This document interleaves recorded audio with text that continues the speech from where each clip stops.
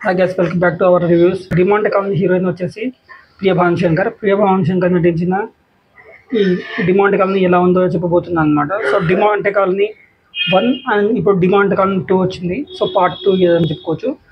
ప్రియ భవన్ శంకర్ అయితే తోపుగా యాక్టింగ్ చేశారనమాట అజయ్ అయితే సూపర్ డైరెక్షన్ చేశారు.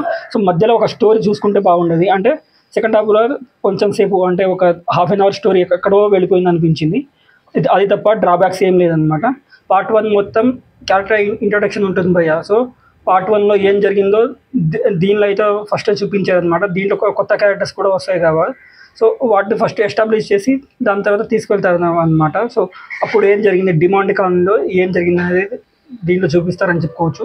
సో దీంట్లో ప్రధానంగా వచ్చేది అంటే పార్ట్ వన్లో బంగ్లాలో వెళ్ళినప్పుడు ఒక ఒక లాకెట్ని పట్టుకుంటే భూతం వచ్చి అన్నని భయపెడుతుంది అనమాట సో అది.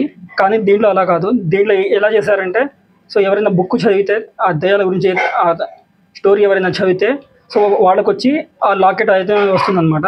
అలాంటప్పుడు ఆ బూత్ బంగ్లా దేనికి అని నా క్వశ్చన్ అని చెప్పుకోవచ్చు అనమాట అలాంటప్పుడు ఆ బూత్ బంగ్లా దేనికి ఆ బూత్ బంగ్లా వెళ్ళిన తర్వాత ఆ లాక్ ఆ లాకెట్ ఆ బూత్ బంగ్లాలో ఉంటుంది. కానీ ఇక్కడ స్టోరీ చదవగానే ఆ లాకెట్ అనేది ఎవరైతే చదువుతున్నారో వాళ్ళ దగ్గర వచ్చిస్తుంది అనమాట సో ఈ వెసులుబాట్లు అయితే కల్- కల్పించారని చెప్పుకోవచ్చు.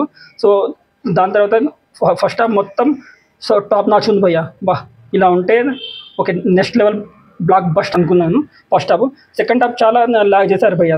ఆ స్టోరీ కానీ ఫస్ట్ హాఫ్లో ఏదైతే బిల్డ్ బిల్డ్ చేశారో సెకండ్ హాఫ్ దాకా తీసుకెళ్ళలేదు ఇంకో స్టోరీ అయితే రన్ అవుతుంది అనమాట దీనికి దానికి పొందడం లేకుండా చేశారు. చివరికి వచ్చేసరికి మళ్ళీ బా ఏమైనా తీసారా బాబు?